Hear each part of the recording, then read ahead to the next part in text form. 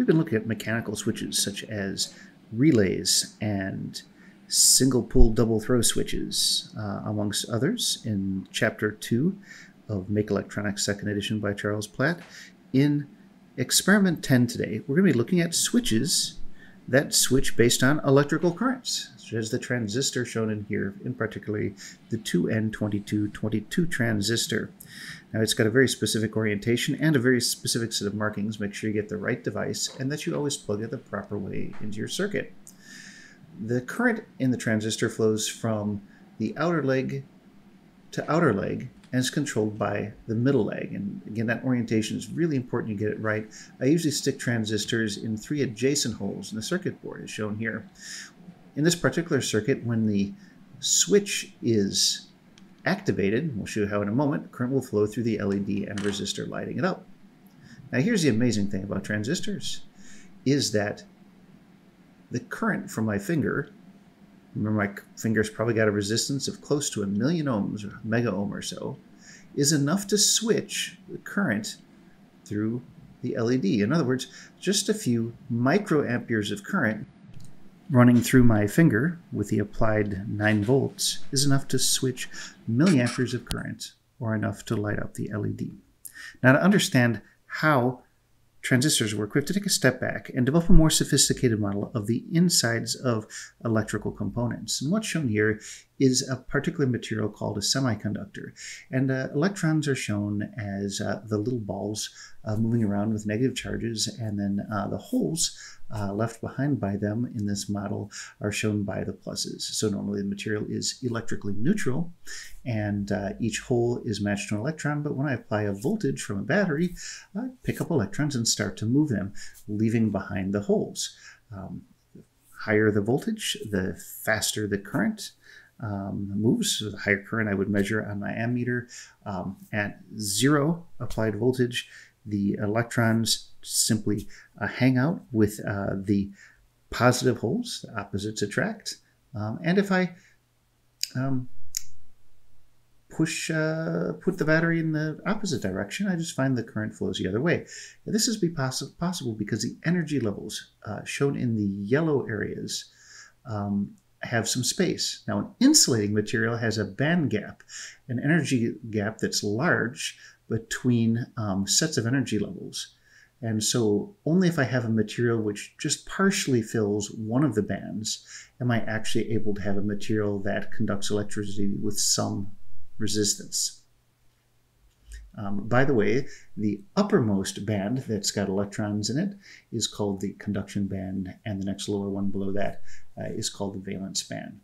And so whether I have a material which has uh, extra charges above the band gap or a depletion of charges below, we call those a P or N doped material, I'm able to get conductivity. And if there's no dopants at all, I get no current. Now what happens when I take two such semiconductor materials and place um, them together? Well, if it's the same dopant, it looks just like before. Uh, the electrons run around in response to the applied current. Um, but if I take one P and one N type, I have a diode. And this is how diodes work. Um, in this case, I have a forward bias, which means that the voltage is such that current flows. And when an LED turns on, this is what happens, is we create a little waterfall actually between the different electronic levels so that electrons as they go around the surface fall over. And as they spill over down that energy landscape, they emit light.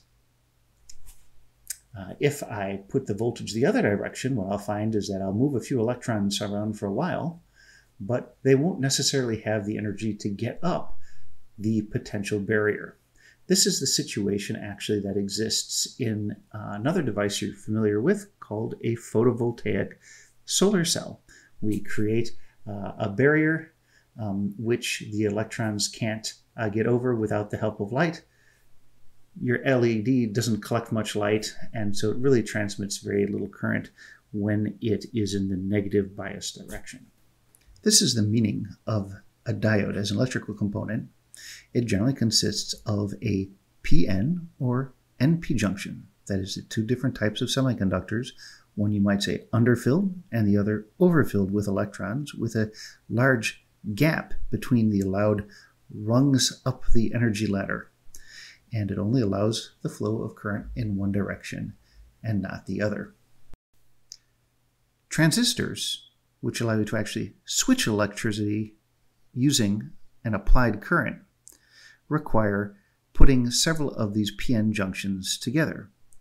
We'll be studying in particular NPN bipolar junction transistors.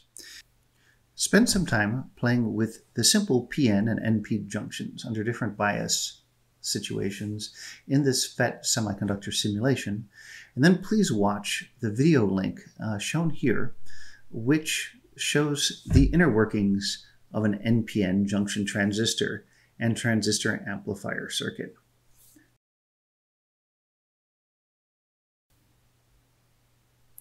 To simulate transistor circuits, using the Lush Simulations website, go to Circuits, Transistors, and let's start by picking up just a simple NPN transistor.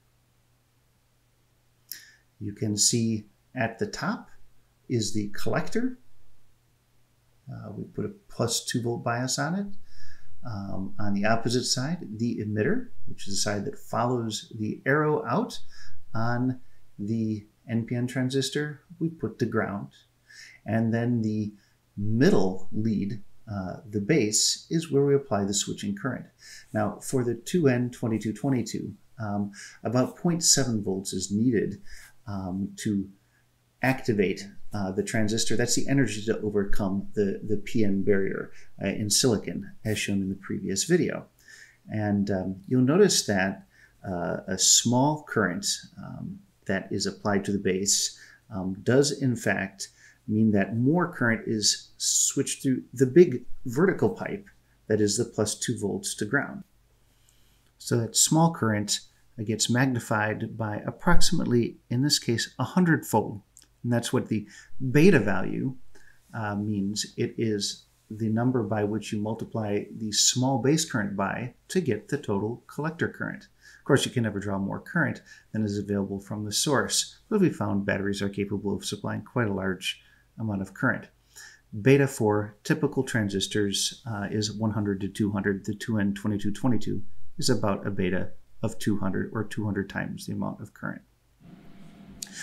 Here's uh, the second circuit that's uh, in this chapter um, where we're going to be changing the applied current um, via a potentiometer. Now this potentiometer is uh, one of the largest ones in the kit. It's about half a mega ohm. It's got three leads and I'm just going to test it out here on a separate part of my circuit board. So with the power off to the battery, I've put myself on the mega ohm, 2 mega ohm scale. And when I look on the outer two pins on the resistance mode, I find that I turn the pot and of course the total resistance doesn't change, but I move um, to measuring from an edge pin to a center pin. I find that as I spin the pot, the resistance goes uh, from zero to the maximum value of about half a mega ohm uh, in this case, just like the potentiometers we took apart earlier. Just always be sure that you're plugging your pot in so that the three leads go in three separate rows of the breadboard. And now we're going to move it up and place it in the position where before I was tapping my fingers. So before I was switching a tiny amount of uh, current uh, with my finger, which then switched a large amount of current thanks to the transistor action. Now I'm going to adjust uh, that amount of current by tweaking that potentiometer a little bit um, so that I can move up and down just a little bit in the switching current, having a big effect on the output. And you can see I've made a pretty effective dimmer of my LED.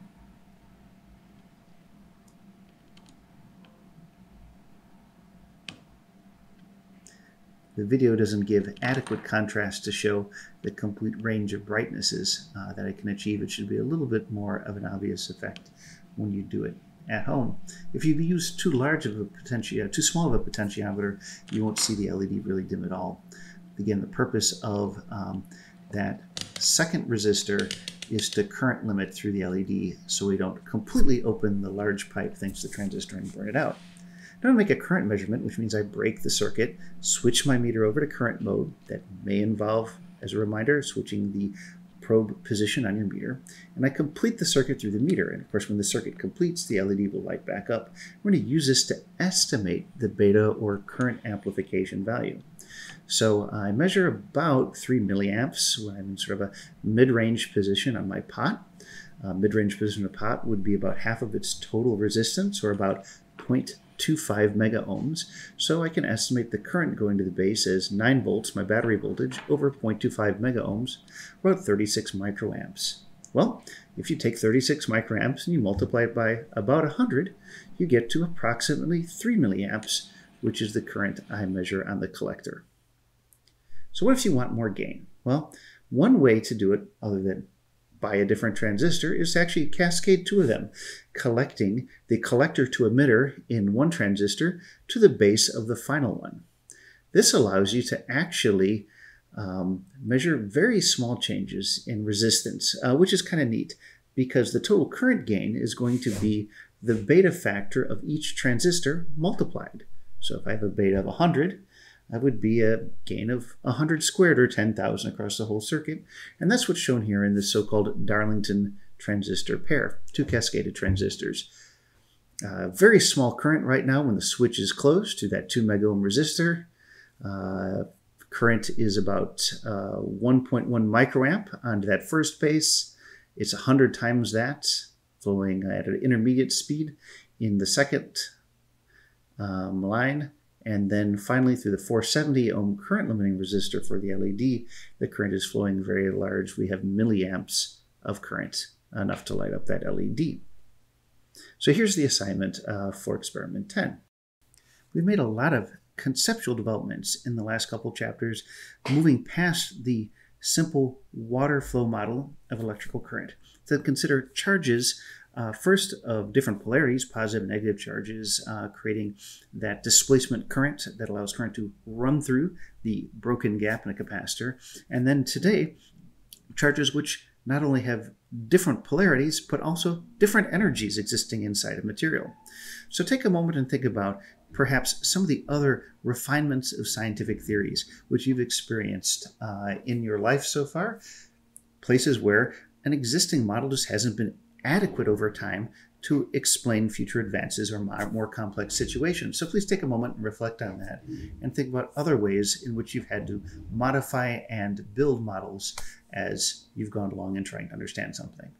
Now for the building assignment, the Darlington pair is not covered in the textbook, but I would like you to try to build it using two 2N2222 NPN bipolar junction transistors.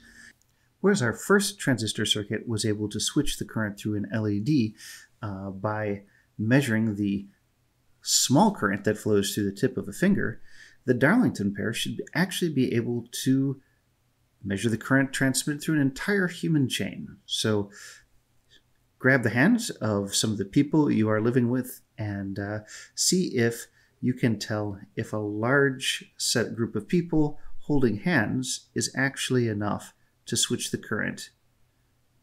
Any one person dropping uh, out of the human chain should be enough to turn off the LED. Only completing the circuit uh, will allow the current through the LED to go on. And please recognize that milliamp to light the LED isn't flowing through your bodies, only that tiny switching current thanks to the amplifying effect of the two transistors in the Darlington pair. Take a picture, put in your logbook along with a estimate, just a rough guess of what the total resistance of that human chain was, and using a beta squared factor of 10,000, how much current you think uh, was running through the human chain that replaces the 2 mega ohm resistor and switch in the Darlington pair circuit diagram.